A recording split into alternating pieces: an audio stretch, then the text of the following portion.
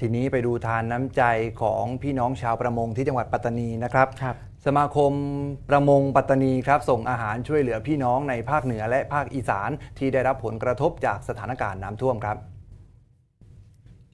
จากสถานการณ์น้ำท่วมในพื้นที่ภาคเหนือและอีสานของไทย มีชาวบ้านในพื้นที่ได้รับผลกระทบอย่างมาก โดยเฉพาะอาหารที่มีความจำเป็นในการดำรงชีวิต ทางสมาคมประมงจังหวัดปัตตานีนำโดยนางอันเกตลีลาภัยบูลย์นายกสมาคมการประมงปัตตานีครับได้ร่วมกับนายไพเจนแซ่ด่านผู้อำนวยการโครงการส่งน้ำและบำรุงรักษาปัตตานี ร่วมเป็นส่วนหนึ่งช่วยเหลือพี่น้องชาวไทยที่ได้รับผลกระทบ โดยทำการประมงค้าสินค้าประมงนะครับได้มีการส่งสินค้าประมงไปเป็นปลากระตัก ปลาหวานและอื่น ๆ บรรจุใส่กล่องส่งไปรวมแล้วกว่า 600 กิโลกรัม เพื่อที่จะมอบให้กับพี่น้องชาวไทยที่ได้รับผลกระทบจากน้ำท่วม และเป็นการบรรเทาเบื้องต้น พร้อมส่งกำลังใจให้ผ่านพ้นวิกฤตในครั้งนี้โดยเร็วครับ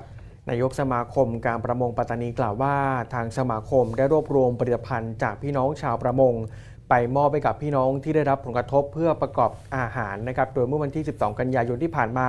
เป็นรอบแรกที่ส่งอาหารไปช่วยเหลือ และจากนี้จะประเมินสถานการณ์ต่อไป หากพี่น้องทางเหนืออีสาน ยังคงต้องการความช่วยเหลือนะครับ ก็จะส่งสินค้าประมงเข้าไปช่วยเหลือเพิ่มเติมต่อไปครับ